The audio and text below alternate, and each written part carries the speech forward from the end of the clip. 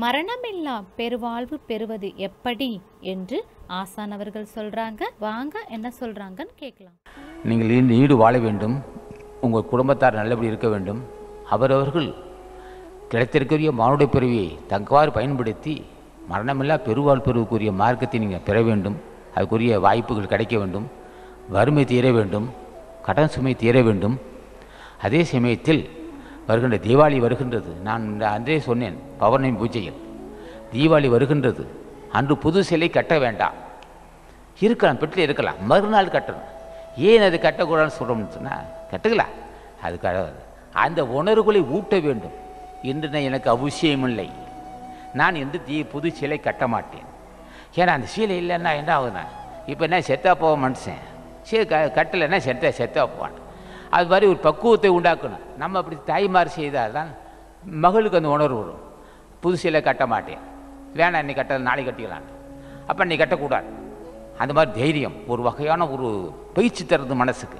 நம்மை பார்த்து பிள்ளைகள் பார்ப்போம் குடும்பத்தோடு பார்ப்பான் அப்போ அன்னைக்கு கட்டுறதில்லை. புது சிலை கட்டுற மறுநாள் கட்டுறது அப்போ அன்னைக்கு சீலை இல்லைக்கு எனக்கு ஏக்கம் வரக்கூடாது. நகை அது தேவையில்லை. நகை அவசியம் இல்லை எனக்கு. இதயத்தில் தைரியம் இருக்குது துன்பத்தை தாங்கிக் கொள்ளக்கூடிய சிறப்பறிவு இருக்குது அதுவே எனக்கு பொன் நகை. ஆகவே அந்த எனக்கு நகை தேவையில்லை. நகை இருந்தால் என்று போடவில்லை நகையை நான் விரும்பவில்லை.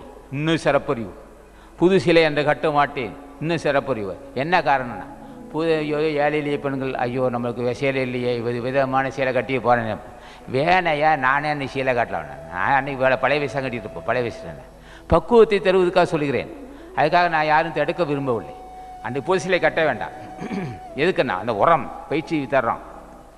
சல்மார்க்க பெண்கள் கட்ட மாட்டார். அப்படி கட்டினா அதை பற்றி எங்களுக்கு அவசியம் இல்லை. அது தடுக்க மாட்டேறான். அப்போ அது என்னன்னா அந்த ஒரு பக்குவத்தை உண்டாக்க வேண்டும். பக்குவத்தை தந்து அதுக்கு அவசியம் இல்லை. அந்த கட்ட வேண்டிய அவசியம் இல்லை அந்த உணர்வு வர வேண்டும். மறுநாள் கட்டலாம் மறுநாள் மறுநாள் கட்டலாம். ஆகவே அந்த பயிற்சி பெற வேண்டும். எதுக்கு ஒரு பக்குவம் வேண்டும் என்று சொல்லி அதெல்லாம் நீங்கள் கடைபிடிக்க வேண்டும் என்று சொல்லி இது நேரம் வரலாம் அமைதியாக கற்றுக்கொண்ட உங்கள் திருவடியை வணங்கி முடிக்கிறேன் வணக்கம்.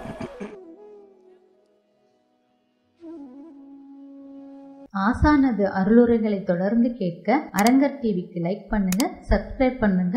மறக்காம பெல் பட்டனையும் கிளிக் பண்ணுங்க.